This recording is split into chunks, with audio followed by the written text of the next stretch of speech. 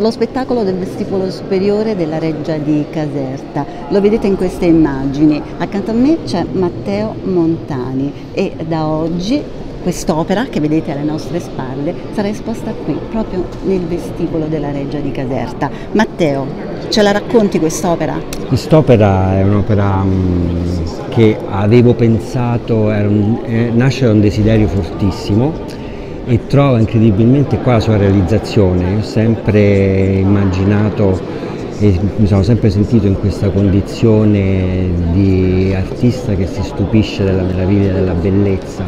C'era quest'idea di questo personaggio che guardando in alto aspettava, aspettava qualcosa.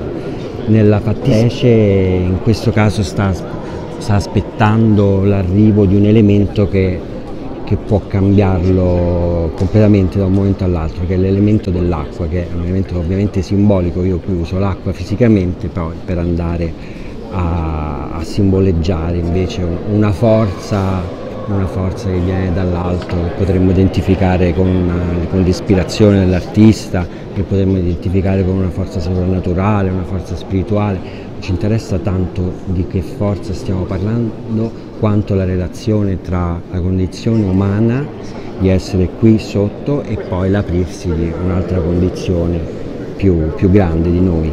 Intanto noi abbiamo sicuramente lanciato questa curiosità e quindi chi ci ascolta potrà venire a vedere quest'opera fino a quando? Fino al 15 dicembre sicuramente, ma potrebbe anche essere prorogata, adesso stiamo aspettando una risposta. Ecco, intanto diciamo anche che questo è stato possibile grazie naturalmente alla direzione della Regia di Caserta e grazie alla Galleria Arte Contemporanea di Nicola Pedana, dove sì. ci sarà un'altra iniziativa. Il 19, 19 novembre avremo la mostra personale dove succederà anche anche lì qualcosa di speciale perché appunto abbiamo detto che questa scultura è una scultura che è una scultura quasi performativa, diciamo, dove si incontra anche la scultura e la pittura, la performance, perché nasconde un meccanismo mm, idraulico e tre volte al giorno questa scultura viene bagnata e permette al colore che è nascosto sotto di venire in superficie. Anche nella galleria succederanno delle cose diciamo simili. Ma non diciamo di più, grazie naturalmente ad Matteo Montani.